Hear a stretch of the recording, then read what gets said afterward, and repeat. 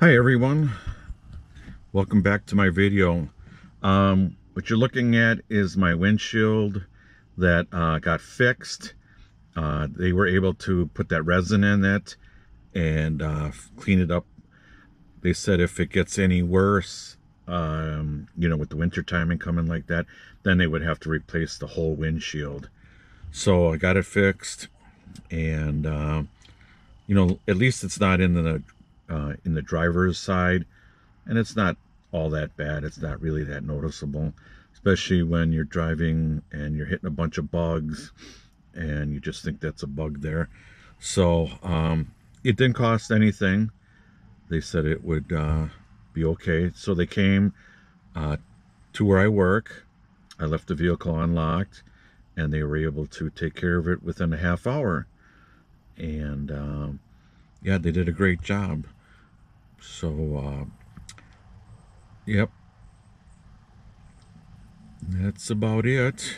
Um, nothing too fancy about it. Just that that uh, got fixed. And again, uh, on my first video when I was talking about, uh, you know, having insurance on your vehicle, especially the windshield, uh, like I said, the newer cars nowadays have all of this fancy stuff, you know, that can uh, see like how close you're getting to another vehicle and it can sense, you know, warning lights or automatically braking.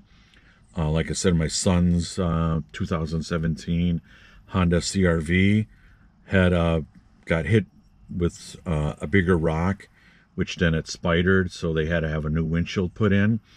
And because it had to be uh, re cabulated or cabul uh, you know what I'm trying to say. I don't know why I have a problem saying that, but uh, cal calibrate it, recalibrate it. Hooray! I got to say it right. Um, it would have costed a thousand bucks, but because we had that special um, added on insurance for the windshield, it was no cost to us at all. So, and it's minimal uh, on your um, statements every month. So it was well worth it. And like I said, if you're driving more of these high-tech uh, vehicles, you need a little bit more insurance because it just needs that much. So, and as you can see, my neighbor's tree is starting to turn. Fall is just around the corner.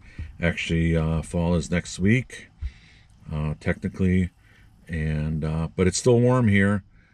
It got into the 80s. They're talking about maybe 90s over the weekend. So, and here it's in Wisconsin. So we'll take it as we can because we know what's right around the corner. So, all right, I appreciate you watching. Again, please subscribe to my channel. It really means a lot to me. And um, look for some more videos coming up. I have a metal detecting video coming up. And I'm going to be working on my wife's car. She needs hub bearings. I'm just waiting for the parts to come in. I'll be doing that. Uh, rear hub bearings, that is. I've done uh, hub bearings on a vehicle once before. The front hub, uh, hub bearings it was really easy. So hopefully, I'm hoping that this goes really easy too. So again, thanks for watching, and we'll see you again in the next video. Thanks. Bye.